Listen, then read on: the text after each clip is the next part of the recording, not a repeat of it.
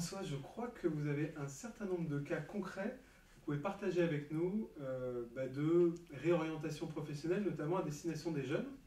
Alors je pense à un notamment, euh, est-ce que vous pourriez approfondir euh, un cas concret de personnes qui, je sais pas, vers 30-35 ans, s'est dit je ne suis, suis pas là où je voudrais être. Mm-hmm. J'ai fait une grande école parce que finalement, voilà c'était ce qu'il y avait de mieux. Ensuite, j'ai suivi une carrière. Euh, mhm. J'ai pris un peu ce qu'il y avait de mieux. Et à 30 ans, je me réveille. Je ne suis pas où je voudrais être. Alors, comment faire pour aider ce type de personnes Alors, en fait, le, cas que vous décrivez, euh, je l'ai rencontré.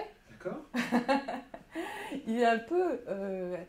À la fois atypique parce qu'extrême, mais en fait, il illustre parfaitement effectivement l'intérêt de cette démarche, de mhm. se situer sur ses préférences, situer son environnement euh, professionnel, euh, idéal, etc.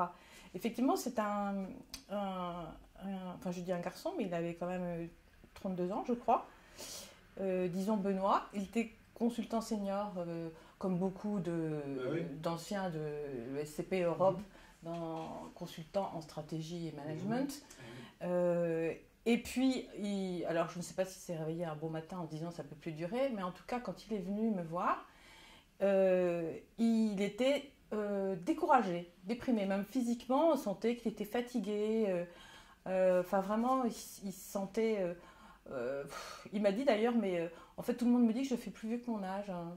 Donc c'est comme c'est drôle, comme ça, ça, se traduisait dans son physique.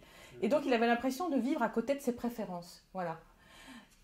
Alors que ses centres d'intérêt, c'était le théâtre et l'écriture. Alors bien sûr, il pratiquait le théâtre comme un hobby, l'écriture aussi. Hein. Et en fait, euh, son profil de préférence, euh, qu'on a établi ensemble hein, euh, à partir de, l'outil Myers-Briggs, le MBTI, eh bien, a confirmé qu'il était bon, créatif, communicant, qu'il avait une facilité à créer des contenus, à écrire des scénarios, à faire passer des messages, ce qui n'était pas surprenant compte tenu de ses hobbies, et à accompagner des personnes dans le changement. Et c'est des choses qui sont ressorties très fortement, qu'il a validées. Et du coup, je pense qu'il avait déjà en tête euh, le changement de métier dont on va parler, mais ça a été l'impulsion.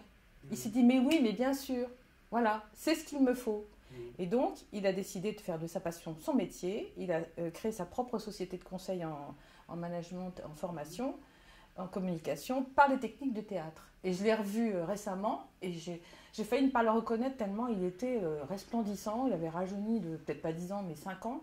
Et il était dans une dynamique superbe, il était super content. Il m'a dit, mais maintenant c'est un plaisir de me lever le matin, c'est génial. Eh bien, beau succès alors Françoise. Ben, merci.